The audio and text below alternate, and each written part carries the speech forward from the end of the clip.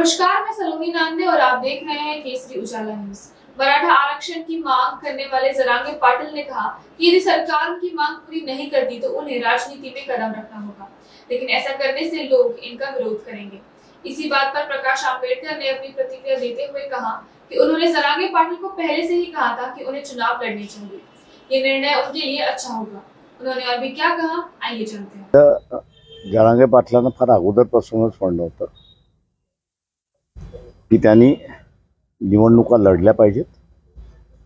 आणि हा- त्यांनी जर निवडणूक लढण्याचा निर्णय घेतला घेतला असेल तर त्यांच्या लढ्यासाठी तो फार चांगला आहे असं मी त्या ठिकाणी मानतो. त्यांनी ते नावं कशाला ठेवली कोणी? त्यांचं त्यांची चळवळ आहे. मागणीच आहे. काही जण डिफर होतील काही जण सपोर्ट करतील. त्याच्यामुळे नावं ठेवण्याचा भाग नाही आहे. त्यांनी लढावं माझं म्हणणं असं. पूर्णपणे लावला. म्हणजे आत्ताच्या स्टेजमध्ये नाही वेगवेगळे आम्ही ऑपोजिट कॅम्पमध्ये आहोत त्याच्यामुळे आता जाण्याचा प्रश्न उद्भवतो ते आमचे हे उद्या संपल्यानंतर मग आम्ही बस मला ज्ञान शिकवल्याबद्दल मी संजय राऊत यांचे आभार मानतो.